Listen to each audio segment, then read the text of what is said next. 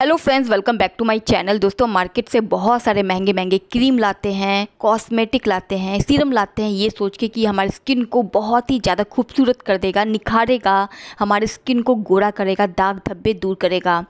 दोस्तों, इसमें इतने केमिकल होते हैं, ये हमारे स्किन प्रॉब्लम को और भी बढ़ा देते हैं और हमारे स्किन को बूढ़ा कर देते हैं। मैं आपको आज एक ऐसी रेमेडी बताऊँगी जो आप घर पर आसानी से बनाकर अपने स्किन को बहुत ही ज़्यादा खूबसूरत कर सकते हैं अपने स्किन को निखार सकते हैं दूध से भी ज़्यादा गोरा कर सकते हैं। इस रेमेडी को तैयार करने के लिए दोस्तों सबसे पहले आपको क्या करना है कि आपको यहाँ पे एक पाउडर बनाना है। इस पाउडर को बनाने के लिए दोस्तों, आपको ये स्किन वाइटनिंग पाउडर है। इसे तैयार करने के लिए आपको क्या करना है कि आपको बराबर मात्रा में राइस और मसूर की जो दाल होती है ना, उन दोनों को लेना है। जो राइस होता है दोस्तों स्किन वाइटनिंग के लिए बहुत अच्छा होता है। ये एंटी एजिंग होता है। हमारी स्किन को जवान करता है और हमारी स्किन को अंदर से निखारता है।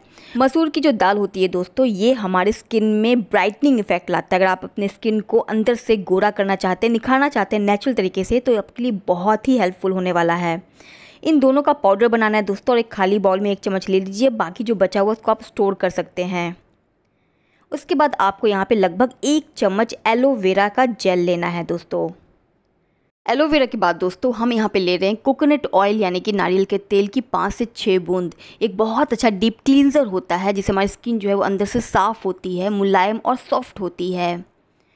दोस्तों आप लोग से एक रिक्वेस्ट है कि अगर आप इसी तरह की वीडियो और चाहते हैं तो मुझे आपके मोटिवेशन की बहुत ज़रूरत है। आप प्लीज़ इस वीडियो को लाइक और कमेंट ज़रूर कीजिएगा ताकि आगे भी मैं इस तरह के वीडियोज़ लाते रहूँ। अब अच्छे से ये मिक्स हो गया है। हम यहाँ पे लेंगे दोस्तों हाफ़ लेमन यानी कि आधा नींबू का रस। नींबू का रस हमारी स्किन को टोन करने के साथ हमारे स्किन को निखारने के लिए बहुत अच्छा होता है तो इस तरह से दोस्तों अच्छे से मिक्स होने के बाद आपको अपने पूरे चेहरे पे गर्दन पे हाथ पैर पे अच्छी तरह से स्क्रब करते हुए लगाना है ताकि जो डेड स्किन सेल है वो भी पूरी तरह से निकल जाए।